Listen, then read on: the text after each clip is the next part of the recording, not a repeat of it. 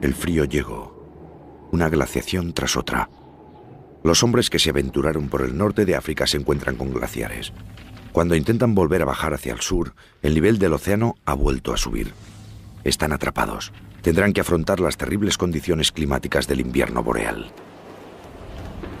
En Europa, el que resistió fue llamado Neandertal.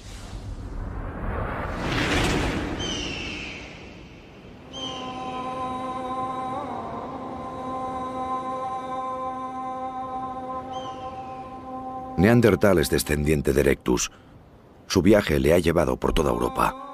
A pesar del frío, a pesar de la nieve, se ha adaptado. Al superar las dificultades, este nuevo hombre ha llegado a ser muy fuerte.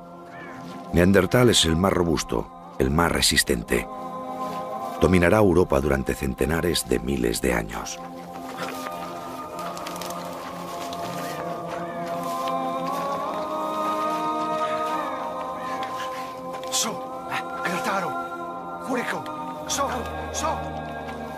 Durante los ocho meses de invierno, solo la caza le permite alimentarse y vestirse.